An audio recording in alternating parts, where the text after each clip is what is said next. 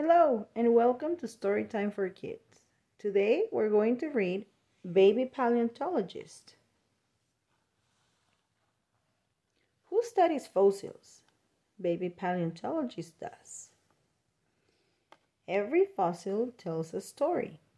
Fossils tell the stories of plants and animals that lived long ago. A shell can be a fossil. A footprint can be a fossil. A bone can be a fossil. Baby paleontologist studies each fossil. Which animal did each one come from? Everybody can see fossils in museums.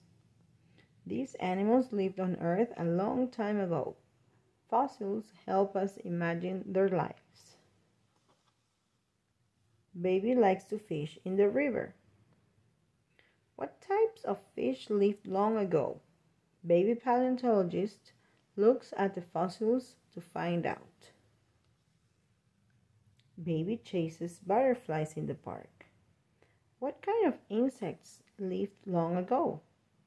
Baby paleontologist examines fossils to find out. Baby has fun putting together puzzles. What did the dinosaurs look like?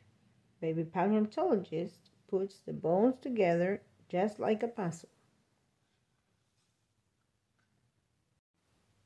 At the dig site, baby paleontologist uses a pickaxe and a rock hammer.